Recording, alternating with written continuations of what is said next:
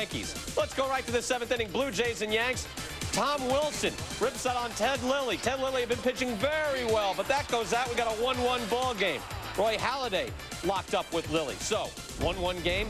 Carlos Delgado, who is hitting very well, comes out against Mike Stanton and could he use a little help. Could have used a little help, and this is Alfonso Soriano. He normally makes his play, scored a hit, but he stumbled a little bit getting to it, and Shannon Stewart run the whole way, scores on that ball. Soriano's become a pretty good second baseman. He probably should have done a little better job on that. Now here, the infield is in, so Soriano's got a long way to go for this ball. It's usually Shane Spencer's ball, but he's got a long way to go. Of course, the infield's back there, very catchable ball. Just hit it right in between. Next batter is Vernon Wells, and here, look, Nick Johnson, by stepping on first, removes the force play with a man on third. This, that's a crucial decision. It is, but what a great job by Cruz staying in the run down long enough to let the run score.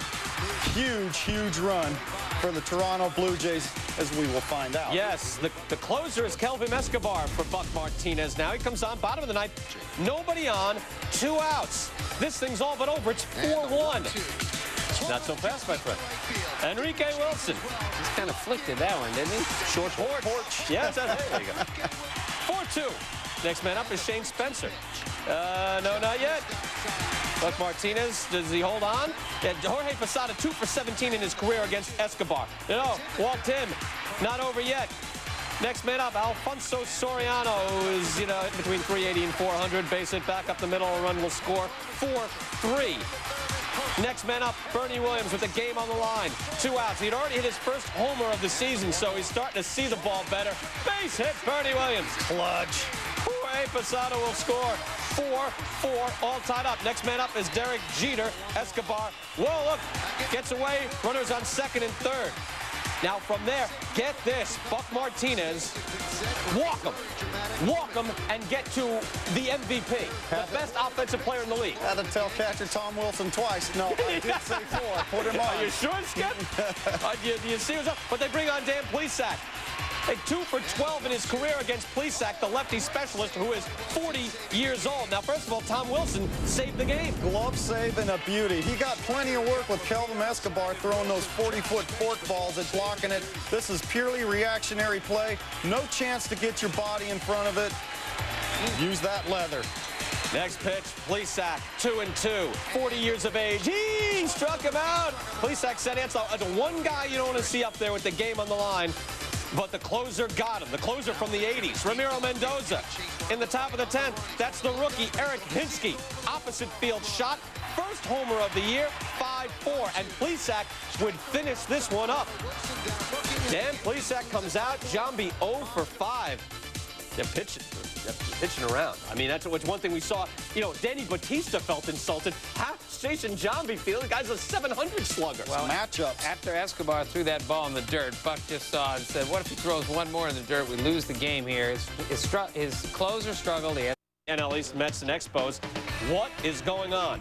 24 errors. That leads the league, leads all of Major League Baseball. Piazza Throwing a second. This is, Alomar. Throw, this is as oh. good a throw as Piazza can make, and Robbie was trying to tag, I think, before. And again, Robbie's got as good a hands as any second baseman I've ever seen, and he just has not yeah, had a typical Robbie Alomar year defensively. Now here, Vladimir Guerrero puts that in. Bergeron will score, makes it a 3-2 game. Lee Stevens puts this into right field. Vladimir Guerrero coming around. We got a play to the plate. Jeremy Burnitz got excited. All right, Jeremy Burnitz really throws well, but not on that one. He got a little bit too rushed on. He never got his body upright enough. His arm was behind him, and his body was in front of him. He kind of threw it right into the ground. Yeah, Mike, this is bad defensive energy at this point. Look, Super Joe McEwing there. That gets away on a double play ball on Mike Barrett. Just couldn't get the ball out of his glove. Threw a two uh, splitter over there. It's getting worse and worse. Again, this, this is supposed is. to be a team strength defense in the out in the infield. Then next man up is Orlando Cabrera after Barrett went all the way to third. He'll score easily here. Cabrera goes to second. The thing is, is everybody's making them pay. Every error the Mets are making just gets magnified in the inning. And now here's Jose Vidro and ah. trying to steal off. Mike Piazza hit his own pitcher. Went right off Pete Walker. I've never seen that. Oh. Mike, you never did that, right? Well, he just got on the backside and out front too quick. Yeah, Piazza saying what's next. Now Piazza's probably thinking, no, that can't hit Pete Walker. he drove back up the middle, drives in a run. Expos take it 7 to 5. Mets have allowed 17 unearned runs this year. Shawn Estes has yet to win for the Mets. He could have gotten a little more help there. He's 0-2, his ERA 5.09. Carl Pavano gets the win for the Expos. His ERA still over 4 in his Braves fish up 1-0. Derrek Lee facing Greg Maddux. Vinny Castilla, super play, goes to short way, hitting over. Maddux gave up one earned in six innings. Bottom six, same score. Rafael for Kyle Bunning with a runner on first. A.J. Burnett boots it.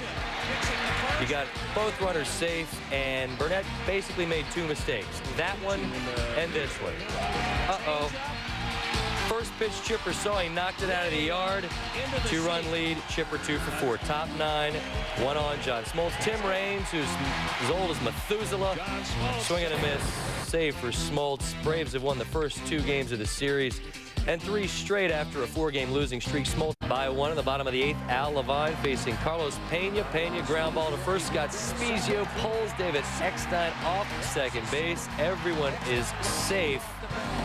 And that proved to be critical because later in the inning, game tied at seven. Levine facing Scott Hatteberg nearly had his head taken off. Hatteberg brings home Carlos Pena. The A's go up eight to seven, and that's the score they win by. Barry Zito spotted a six-run lead, but unable to turn it into a victory. He's just a 500 pitcher in day games, eight and eight. All in bad news for the Texas Rangers Saturday. Ivan Rodriguez has a herniated disc in his lower back. He's out four to six weeks. Pudge did not even make the team's road trip to Seattle. He will likely go on the 15-day DL Monday or Tuesday. So the Rangers, without Pudge, at Safeco Field Saturday night. Jeff Cirillo tied for the Major League record for consecutive games at third without an error. Top six, Bill Haselman to third, and sure enough, Cirillo can't make the play. Haselman into second. So much for the record, but you know what? Before the game, Cirillo actually had a premonition that this might happen. Here he is. You know, it's hard not to take it out there and think about it, you know, as the game's going on, especially a big right-hander comes up. And Haselman would qualify as a big right-hander. There it is. E5. Bottom nine, Ichiro facing Hideki Irabu, tied at two with the bases loaded, and Irabu gets the comebacker. And we've got bonus baseball 2-2 after nine to the 11th with two on Chris Michalak. Walks Ichiro intentionally to load him up, bring in Dan Miceli. So it's righty to face righty. Cirillo up now with the bases loaded. Miceli the 3-1, and there's your ball game. Miceli comes in, faces one guy, walks in the winning run. Game's over, M's win 3-2. Rangers bullpen blows its seventh save opportunity of the year. That leads the majors. It's the Mariners' ninth come from behind victory this season. What did Barry Bonds do? Well, we're fixing to tell you. First inning, no score, facing Tim Redding, making his first start of the year, and Bonds rips it. And that's a very loud double. Lance Berkman, who leads Barry Bonds by a homer. Couldn't make the play. Bonds is two for three, two doubles. But J.T. Snow is doing plenty of work as well. He rips a single to center. Bonds comes in. Jeff Kent, who had three hits in the game, comes in. 7-2 Giants. Snow had a monster night. We'll tell you about his numbers momentarily. Bottom eight, it's 11-7 Giants. Brad Ausmus up. Two runners on facing Felix Rodriguez. I don't know how anybody can hit Felix Rodriguez. Ausmus does. Two runs come in to score. It's 11 to 9. We've got some problems. But then Robb Nen to Bagwell. Pedro Feliz, can he gut out Jeff Bagwell? Yes, he can. That snuffs the threat. Giants add two in the ninth and win 13-9. Giants now 11-0 at Astros Field. Josh Pearce coming up out of AAA facing Jeffrey Hammonds. Sexson on deck. Goodbye. Way out of here. To the wall. No, he brought it back in. Look like the cut away quickly, and it did not go out. So they had the call right, as it turns out. Watch it closely. Brought back in Eduardo Perez. Everybody's looking in the upper deck. yeah, let's go to J.D. Drew now in the fifth inning. And uh, Tim, what's going on uh, here? It's the top of the fifth here. The Brewers are ahead three to one. J.D. Drew, two out, two on, drops a bunt here, and he gets thrown out. And J.D. Drew is a great hitter. He's a big-time home run hitter. And I think he's got to try to hit a double there instead of bunting to load the bases. Here's Edgar Renteria in the seventh. Cards down 3-1, and he drills that all the way to the wall. Two runs have come in here. And we got a tie ball game, so the Cards do eventually tie this one up. The bottom of the seventh, still 3-3. Dave Veres is on. Alex Sanchez puts that Eduardo Perez again. No, couldn't hold on. A run will score. Sanchez will be thrown out, but it's a 4-3 Brewers lead. It's 5-3 in the ninth. Mike DeJean, oh, gets a good call there on J.D. Drew. Full count, saves him. Now, next pitch, I thought that was a ball, Mike. This, I think that's a strike. Yes. Struck him out. Got him. DeJean, at that point, Lewis is like, you know, we can't win. DeJean, his third save of the season, two scoreless innings. Now you got the... hey, the game's over. You don't need it back in my head. Incoming. Matt Morris is the only St. Louis starter with a win. Josh Pearce, who was brought up, it's not like, hey, we can't keep this kid down here. He was 0-3 and had an ERA of 6.19 in AAA, and they press him into And service. Josh Pearce is the eighth different starting pitcher they've used this year. And like Everybody else in the lineup and the pitching and defense. Terry Adams is on the hill. He'd get some help. Oh, no, he would. Jimmy Rollins went through him. E6. Then Kevin Young, two men later. Puts this to right. Doug Glanville. That's a tough play. Couldn't make that catch. It's first and third. Armando Rios is there. They got a lot of guys in the low 200s in this batting order. they're hitting 226 coming into this game, and they're in first place in their division. Look at this roller. Got to eat it. Scott Rolen couldn't get it. Rob Mackowiak there. Everybody's safe. Keith Osik is next. Keith Osik. Cheap. Mike Lieberthal up. Cheap. Uh, no, a run will score. It's 2-0 Pittsburgh. Jack Wilson after this. Jack Wilson would say, you know, last year this ball is caught, but not this time around. Over Pat Burrell. One run will score. Two runs will score. Do it for the Pirates. Three runs will score. That ball should have been caught this year. That's a 5-0 ball. Oh, come on, it's a tough play. Now, defensively, Mike, what, just again, bad karma for the Phillies. What's Right now, it looks like bad karma. Mike Lieberthal, very solid back there. Takes a peek a little quick, forgets the ball. Happens. I don't know about this, though. Tim, you think this got to be caught? Watch where the ball lands. Just over the outstretched arm. Get to the warning track. He's playing When awfully shallow. You and Larry Bow in the same boat. When you're going good. Uh, Scott Rolen with two on. Hold on. Not done yet. Rips this on Ron Villone. So it's a 6-3 ball game. Top of the eighth, Mike Lieberthal with a man on. There's the catcher. Strokes this off Mike Fetters. It's a 6-5 ball game. Enter Mike Williams in the ninth. Two outs. Williams, he struck him out. Oh, you got to be confident to throw that. And he got him. And the Pirates win it 6 to 5. Jack Wilson, again, a great fielding shortstop, hitting 179 going in, 3 for 4 with 3 RBIs. Mike Williams said, you know, it's a little bit early, but I hope we're saying in July it's a little bit early. It's early, but they're playing very well. Well, that bullpen ERA is 2.42. They have eight errors the whole year. Rafael Furcal has seven by himself. Against the Reds, he has dominated this team, but on this bunch here, he's, he just looks at second a little too long, takes his time going to first. Wilton Guerrero can fly. That's not a guy you take your time on. And this is Roosevelt Brown in left field. I'm not sure Oh, what happened no. here. That ball hit him right in the center of the glove. That's a no-no. Good for Barry Larkin there. He was tagging on that play. Wasn't even going halfway, and he still got to third. And here's here's Encarnacion with a really good piece of hitting, rifling one down the left field line, right field line. And this is three unearned runs against Kerry Wood in the first inning, and it really got the Reds going. Go to the top of the fifth now. Look at Juan Encarnacion. We'll get back to him, Wood. No. Lost Guerrero. Lost Adam Dunn, not a bad idea. And then walked Aaron Boone. Loads the bases with two outs. And now, Mike, here is Juan Encarnacion. Watch this at bat, Juan Encarnacion. Two outs, bases loaded, called sticking your face in there and having a battle. Total of 11 pitches from Kerry Woods, up and in, down and away, staying alive, and putting the ball in play. No, just fighting things off. Finally gets the bases loaded walk, 11 pitch walk. Great at bat. And from there, look at Wilton Guerrero out of your second base. This is a very tough play, guys. Look at that. Over your shoulder, hear those footsteps coming. Don't see that play made too many times. 6-1 is the final. Elmer Dessens. The ace goes seven and a third shutout innings. He's one and three, but his ERA is 1.88. He's allowed one earned run in his last three starts. Kerry Wood's ERA uh, balloons up to 2.38. Again, his first loss to the Reds. American League, uh, things were going so well for the Indians, but now they go up against the Twins on Tom Kelly night. The Twins would be inspired. Old manager there, Jacque Jones. Rips this. Brady Anderson.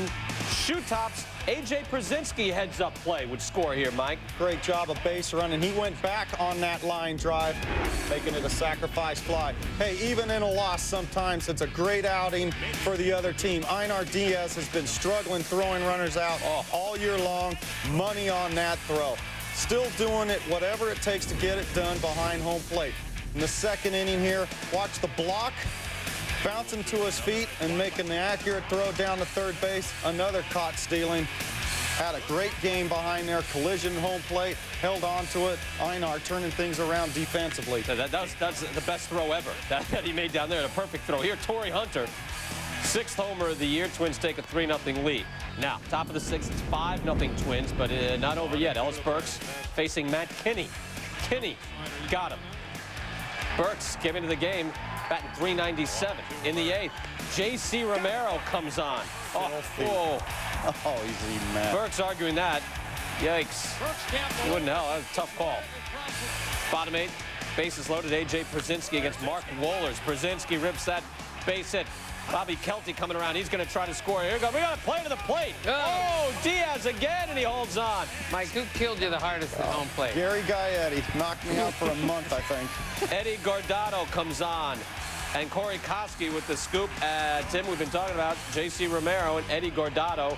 Uh, right now, that's an elite bullpen. And that was a questionable bullpen coming into the season. And if, again, if it pitches like that all year, they're going to be right there at the end. Indians have lost five in a row. They've been outscored 42 to 13 during that streak. Now, this is a team, again, uh, they get swept by Chicago and beaten up, facing a sweep now by Minnesota. And they got a four-game series next with the White Sox. Bad time to get cold.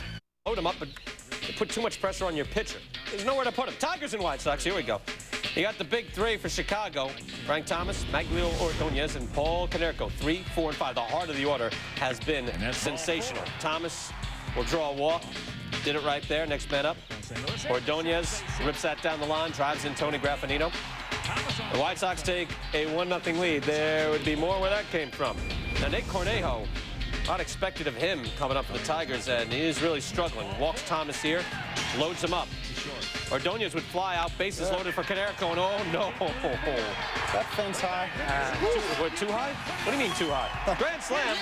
White Sox take a 6-2 lead. Ah, let's go to the fourth inning. Maybe it's the ski hats that are working for him. It's 7-2. Two outs, one on. The big earn. He's been struggling at the plate lately, but when he can get those arms extended, if you get it away from him at all, he can really hurt you. It's 9-2. Here's uh, Ordonez with Matt Parrish show. Sweet as that. Magglio Ordonez, Edgar Martinez, two of the prettiest right-handed swings in the game. Konerko with the shot to left field. He's the next man up. They're not done yet. But the White Sox lineup, the big three go 9 for 12. They reached base in 12 of 15 appearances. If you want to throw, you don't have to go 3, 4, 5. You can throw on Jose Valentin. They're combined 11 for 17 with 11 RBIs.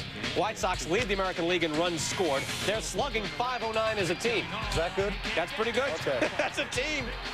They've scored 10 or more runs four times this year. They didn't get their fourth 10-run game until Rockies D-backs. Snakes are already up 3-1, and the bases are loaded for Steve Finley. Dennis Reyes gets smoked in into right center and out towards where the pool is. And everybody on the bases runs as fast as their little legs will carry them, and it's 6 to 1 Diamondbacks. Top five, one out. It's now 9 to 4. It's now 9 to 7. Todd Helton takes Rick Helling out of the yard, his second of the year. A 12 RBI, and here come the Rocks. Top eight, Bret Prinz facing Todd Zeile with a tying run on second. He fans Zeile on the breaking ball.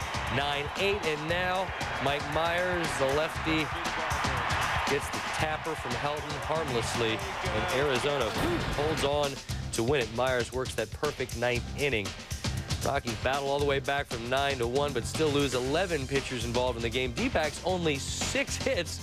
They had nine walks. Arizona's won 8 of 9 against Colorado and 14 of their last 18 against the Rocks at the Bob.